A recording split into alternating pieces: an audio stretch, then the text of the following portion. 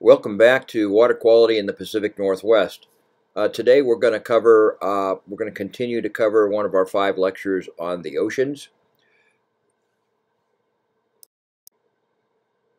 We have a set of five lectures uh, talking about the oceans and we've talked about acidification, we've talked about coral reefs, we've talked about mangroves, we've talked about marine pollution, and today we're going to wrap up uh, talking about the oceans specifically uh, with talking about plastic pollution. Uh, pollution of the ocean with plastics has become a very hot topic in recent years, and it is a major problem. Some people uh, that fish in the ocean and regularly use the ocean are very aware of plastic pollution. Uh, here we are in Southeast Asia, and here you have a boat, and uh, the sea is literally covered with used plastic. And this is not good for humans. This is not good for sea animals. It's a major problem. Yet humans continue to put more and more plastic in the oceans. So today we'd like to take a look at the uh, marine plastic uh, or the marine plastic problem. Uh, marine plastic debris is a pressing environmental challenge. There are two common sources of plastic pollution, and you, as you would suspect, one is land-based pollution, or land-based plastics, plastics manufactured on the land, and somehow they leave the land and enter the ocean. And the other is ocean-based plastics, or plastics that are uh, dumped at sea uh, by ships, either intentionally or by accident. So if we take a look at our land-based plastics, uh, the plastics include plastic litter from beachgoers, people going to the beach, leaving plastic on the, on the beach, and it can eventually enter the ocean. Uh, plastic debris that was on land that has been blown into the ocean. And then plastic debris that has washed into the ocean through maybe stormwater drains, runoff, and other ways it gets into rivers. A couple lectures ago, we talked about coral reefs. Uh, here's an example of plastics ending up on or in coral reefs. Definitely a form of pollution. It's not good for the corals. And uh, you can see what a disaster this could be eventually, uh, eventually become if enough plastic uh, got onto our coral reefs or some of our other ocean-based biomes that are very valuable. Here's a beach on the Hawaii coast. We think of Hawaii as having pristine beaches, yet there are some beaches in Hawaii that are basically littered with plastic and they have to be cleaned up by humans on a regular basis. Definitely, this is not your idea of going to Hawaii and enjoying the beach. Here's some uh, plastic containers that are at the bottom of the ocean. Uh, definitely a form of pollution. It interferes with animals. Then we have ocean-based plastics, and they include things like garbage deposited at sea by ships and boats. And some of this garbage um, could be fishing debris, uh, discarded fishing lines. Remember, we have a huge fishing fleet on this planet. And a lot of times, uh, lines are discarded or they're lost. So that would include nets and fishing gear. And most of these things are made of plastic and uh, they become major problems. Again, we go back to a place on the Hawaii coastline. Look at all the debris, plastics. Needs to be cleaned up. But plastics continually wash upon the coast. Uh, there are more severe situations in, than this ugly looking beach on the Hawaii coastline. We can go to Southeast Asia, where a lot of our plastics are, are lost at sea. Uh, this is a picture of the Philippine coastline. Here you have fishermen in the picture going about their regular business in the ocean, yet they have to wade through a plastic debris field.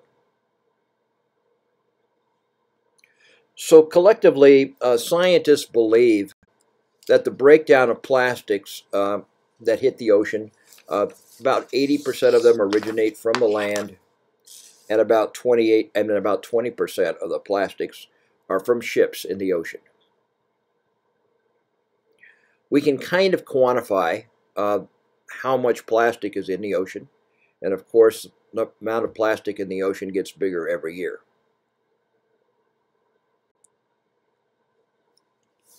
It's believed that there are somewhere, there are about five and a quarter trillion particles of plastic floating around in our oceans today. We add 10 to 20 million tons of plastic to the ocean every year. So this plastic problem gets bigger and bigger and bigger because plastics are, are we consider them inert. They do compose, decompose over time, but their decomposition rate is so slow, we never really see them go away in a human's lifetime. So a lot of people that depend on the ocean for their livelihood or for transportation basically are confronted with a sea of plastic. Here we have a guy going through uh, a coastal ocean uh, on his little boat, and uh, this is no fun. Think of the blue sea, not at all. Waste bed of plastic. Now, economically, we can put a quantity of dollars that it actually costs world economy every year. Uh, it's estimated that about $13 billion in losses per year are associated with the negative impacts plastic have on the marine ecosystem. This would include everything all the way up the food chain. We know that humans contribute a lot of plastic to the ocean every year the main viaduct by which plastics get to the ocean is through rivers. Rivers contribute over 2 million tons of plastics to the ocean every year. And uh, we know that most of the rivers that, or the large quantity of plastics that's contributed to rivers, uh, comes out of large rivers in Southeast Asia. 17 of the 20 uh, top plastic polluting rivers are in Asia and it's estimated that Asian rivers contribute over two thirds of all the river based plastics to the oceans. And you can see all kinds of pictures where rivers are basically overrun with plastic. Here's a creek in the city of Manila. It's filled with plastics in Manila. Definitely not a good aquatic ecosystem it doesn't produce a lot of fish because there's not a lot of light that gets through the water. So the aquatic life in the uh, creek is not very good. Plus, it's dirty and it's trashy, and all this stuff is flowing out into the ocean. Again, Southeast Asia is a hot spot where a lot of the plastics in the rivers end up in the ocean. We go to Indonesia. We go to the country, the uh, island of Java, which is the most populous uh, um, island in Indonesia. And here's another example in a bay. All the plastics just sitting in the bay, washing out in the ocean. Again, this is a worldwide problem, but two-thirds of the plastics dumping into the ocean is coming out of Asia. Uh, something to think about. Here's a picture of a river in India, and you've got children in the water, uh, bathing and playing in the water in a debris field. So again, humans produce a lot of plastics. It's estimated that humans produce about 300 million tons of plastics a year. 8 million tons of this ends up in the oceans. 2 or 3 million of that comes directly from the rivers. So you can literally go around the world and you can see plastics in all oceans and you can see plastics along the shoreline of all oceans. Long, a desolate spot on the African coast. You would think in Africa, there aren't that many people that live in, on the coast in Africa. Look at the pollution. Pretty sorry state. So how much plastic is in the ocean? Well, we know Americans and Europeans use about 100 kilograms of plastic per person per year. Asians use far less, only about a fifth as much. plastic as Americans and Europeans. Africans use a lot less, about three and a half kilograms of plastic per person per year. But a share of this 300 million tons of plastic that we produce on the planet, about 8 million uh, tons ends up in the ocean. And that plastic accumulates in the ocean. Some of it floats. Here's a clump of plastics in the ocean, a very common sight. And it usually stays there for a long time. And that's because plastics are durable and long lasting. Plastic's longevity make it very bad for the environment. You're talking about hundreds of years to break down some pieces of plastic that enter the ocean.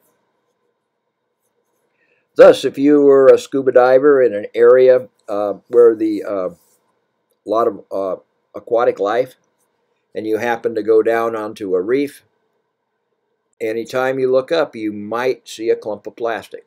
So we're looking, we're below a clump of plastic that's floating on the surface of the ocean here in this picture. And you see the plastic, and it's going to be floating on that ocean for a long time. Now, plastics do break down, but they don't break down fast enough to be considered harmless in the ocean.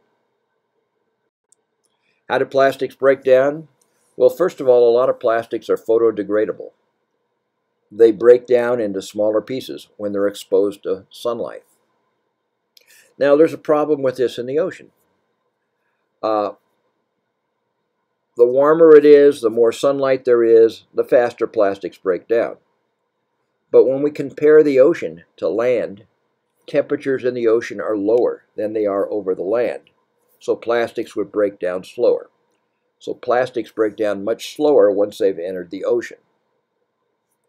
And again, plastics break down from large into smaller pieces over time. And you end up with a lot of little pellets that you can go in and basically strain out of the ocean in areas of the world. Now, the problem with these pellets are there's a lot of marine animals that don't know the difference between these plastic pellets and food. They ingest these pellets, they can make the animal sick, they can hurt the animal's immune system, and if they ingest too many of these pellets, it will actually kill the animal. So as we talk about the breakdown products of plastic, even though the plastics in the ocean are breaking down, they're breaking down slowly. We add plastics to the oceans at a rate that is much faster than breakdown. Thus, we get a net accumulation of plastics in the ocean every year. Plastics generally float on the surface of the ocean or they're suspended in water.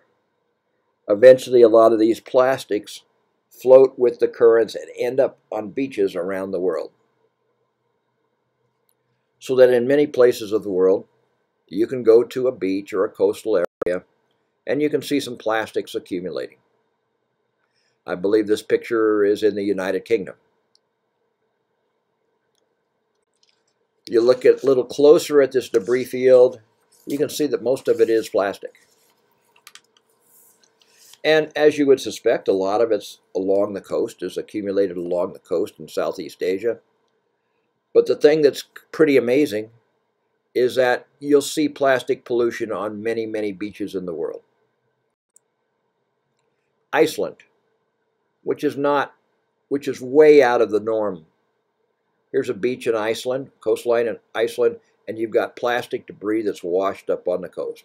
I can guarantee you that very little of this plastic, if any of it's from Iceland.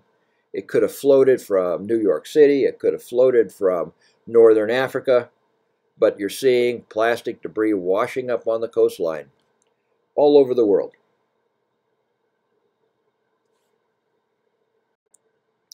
What's the impact of this on species.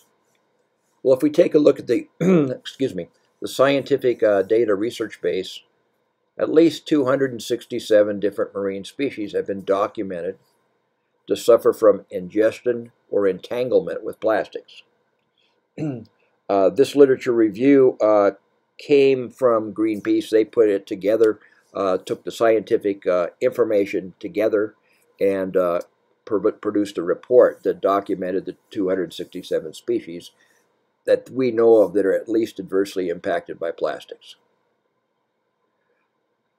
Plastics are found in significant quantities in all oceans. Based on uh, the accumulated scientific record, lots of different species can be harmed by plastic in the ocean. A lot of documented cases about seabirds, uh, sea turtles, seals, sea lions, whales, and all kinds of fish species.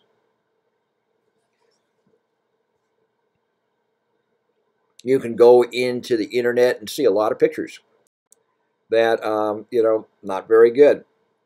Here's a seal entangled in plastic debris. Here's a sea turtle wrapped in plastic wrap.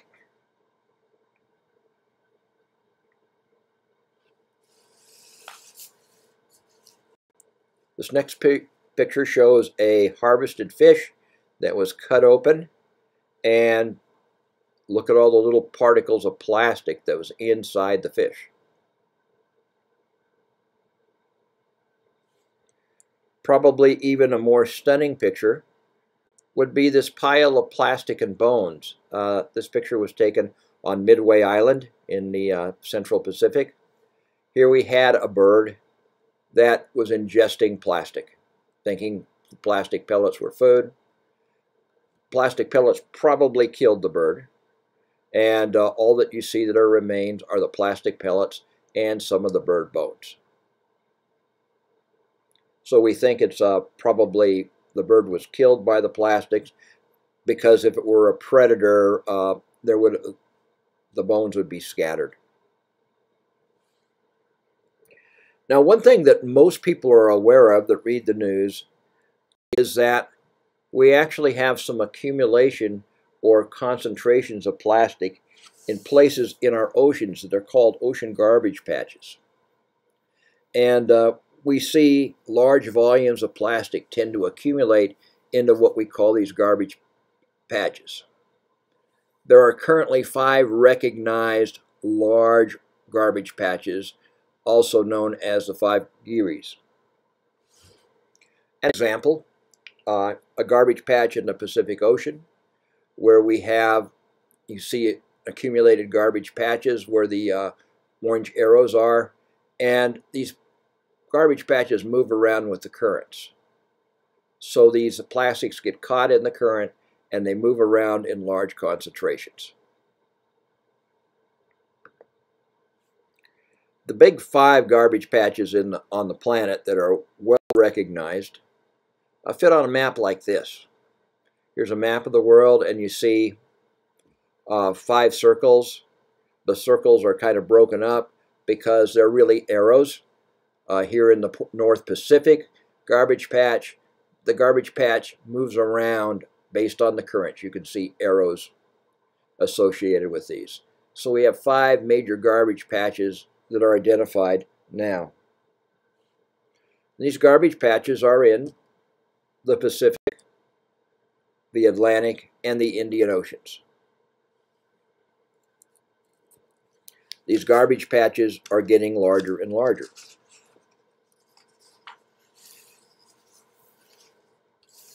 Of these five garbage patches, the largest is known as the Great Pacific Garbage Patch. It's in the Pacific Ocean, floating around between Japan and North America, following the currents. The highest plastic concentration in a stretch is between California and Hawaii. It's estimated that this Great Pacific Garbage Patch has approximately 480,000 pieces of plastic per square kilometer that the garbage patch covers.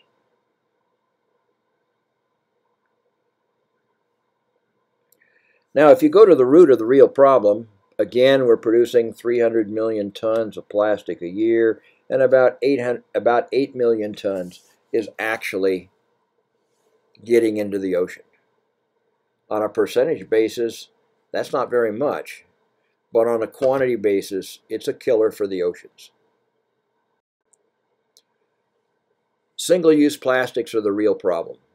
Plastics and polystyrene, or styrofoam, comprise 90% of all the marine debris right now. And the most common items are food and beverage containers that get loose from the land, end up in the ocean, and they just stay there. There's no place else for them to go. A few years ago, there was a major beach cleanup, and uh, this cleanup documented how much they found on about a five mile stretch of beach. And if you look at the, uh, the debris that was found, uh, it was pretty shocking. So this major beach cleanup find, finding showed that in this several mile stretch of the beach, people that picked things up found 52,000 plastic grocery bags, 4,300,000 plastic lids, such as, you know, take out coffee cups, over 4,000 plastic straws and stirrers. Now, uh, if you live in an activist part, an activist part of the United States, you have seen that some states and cities have tried to reduce the pollution from these three plastic things. For instance, um, I was in Seattle a couple weeks ago and I went to a bookstore and I bought a couple books and they gave me a paper bag. I asked them for a plastic bag and they said, well, we don't give plastic bags in Seattle. Uh, that's kind of frustrating to a consumer because it was a rainy day and I wanted to keep my books dry. And they said, well, you should have brought a book bag or you should have, should have brought your own plastic. Also, uh, all of a sudden, you have seen some states and some communities uh, ban the use of plastic straws, primarily because they could end up in the ocean. So, uh, in this major beach cleanup, we see we can quantify huge numbers. In addition to the plastic grocery bags, the plastic lids, the plastic straws, uh, this cleanup produced uh, 3,400 glass beverage bottles, almost 2 million cigarette butts, and a million and a half plastic bottle beverages. That's not all they found. They found about 800,000 plastic bottle caps and about 700,000 food wrappers a tremendous amount of stuff on this beach. Now, people didn't come out and litter all this stuff on the beach. Most of this stuff washed up from the ocean. It was put into the ocean by humans and it washed up on shore. So that just kind of gives you an idea of a magnitude of the plastic that float up on shore uh, from currents. Now, plastics are complicated. Uh, when we talk about uh, if you've ever been to a class where you've talked about solid waste disposal, we know that there are many, many different types of plastics made, and uh, not all plastics are equal. So I thought I'd uh, go through our, our, major plastic types and uh, the issues with the plastic types. Our major type, another type of plastics we know is DEHP. Uh, we worry about this type of plastic because it has been shown in laboratory studies to be an endocrine disruptor. Basically, what an endocrine disruptor here is, it mimics the female hormone estrogen. That can really mess up life cycles of marine animals. DEHP has been banned in Europe since 1999 from use in plastic toys, so it won't harm humans, but it's still used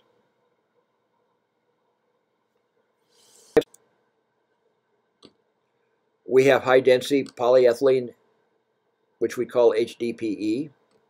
It's used in opaque containers, like opaque milk containers, uh, you know, when you buy a gallon of milk, uh, in water and juice containers, in bleach containers, detergent containers, shampoo bottles, garbage bags, yogurt, margarine tubs, cereal box liners.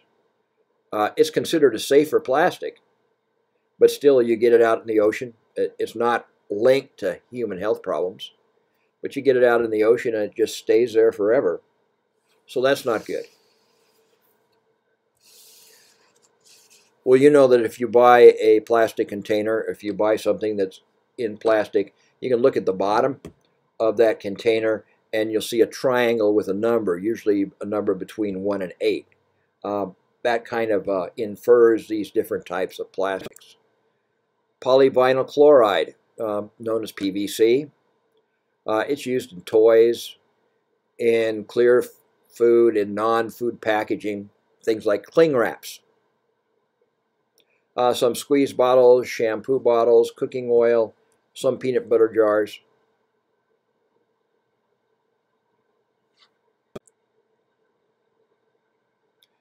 It's also used in detergent, window cleaner bottles, shower curtains, medical tubing, uh, and in construction projects uh, such as PVC pipes, PVC siding. This gets in the ocean and floats around. And one of our concerns with PVC is we consider it a hazardous consumer product. Uh, when it breaks down, as slow as it breaks down, it's an endocrine disruptor that mimics a, fe a female hormone estrogen. So this type of plastic is not very good in the ocean. It's long lasting. It breaks down. It may uh, it may interfere with aquatic life. We have low density polyethylene, LDPE. It's used in a lot of wraps.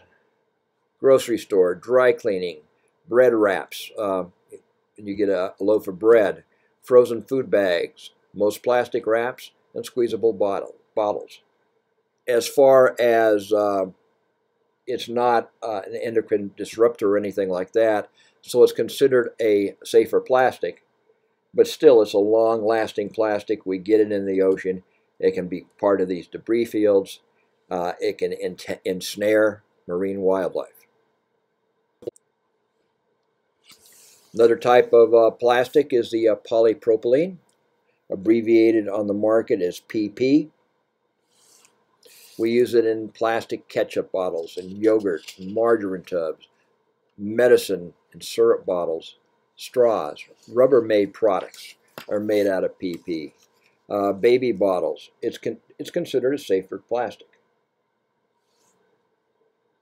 And the uh, last type of plastic I wanted to mention are, is polystyrene.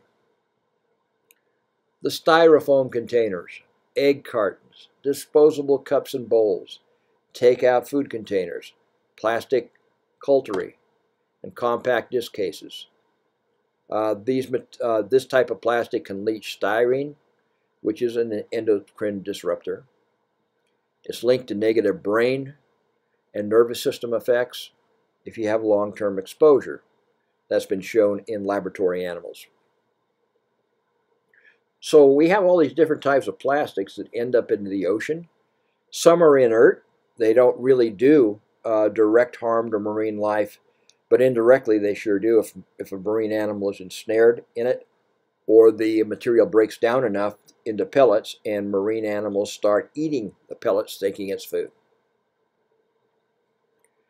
So what can we do about this? This is a worldwide problem. It's more serious in certain parts of the world than in others. So how do we deal with plastics? Some things an individual or government can do is use reusable water bottles. Avoid bottled water, buy a decent water filter, and use a reusable stainless steel water bottle. A lot of Americans do this now, but lots of people still buy bottled water. Now, if that bottled water, uh, the, the uh, plastic containers for that bottled water end up in a landfill, or if they're incinerated, the oceans don't have to worry. But remember, a small percentage, or about 8 million tons of plastics a year, are added to the oceans. That means they get out of human control, float down rivers, uh, blow in the air, somehow they end up in the ocean. Other things that an individual can do is to use reusable shopping bags. Keep them in your car, keep them on your bicycle. Keep them with you so you continue to use them.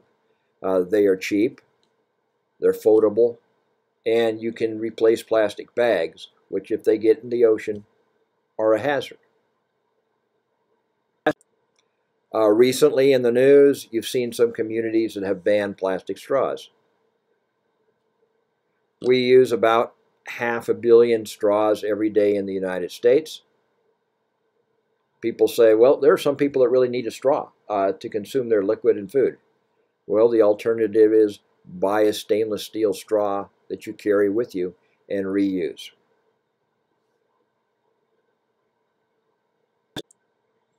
Other things individuals can do say no to plastic coffee or teacups. Carry a re reusable coffee cup with you and have your coffee dispensed into that reusable cup. We have option, options that are not plastic. We can use silicone, we can use bamboo, we can use glass cups and reuse them.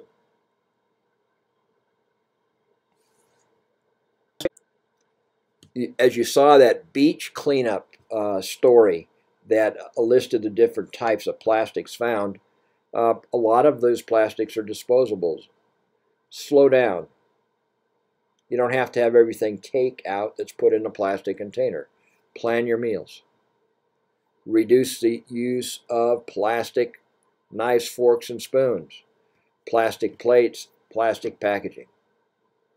And then, of course, if you do use them, recycle them when possible. If you recycle them, they don't get into the ocean.